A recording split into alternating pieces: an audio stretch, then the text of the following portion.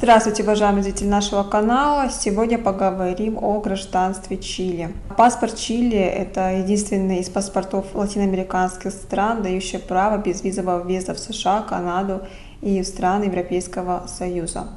При получении гражданства Чили чилийское законодательство позволяет не отказываться от актуального гражданства, оставляя тем самым право сохранить и получить второй чилийский паспорт. Кроме того, существует возможность получить чилийское гражданство по ускоренной программе, связанной с получением гражданства на основании этнических корней.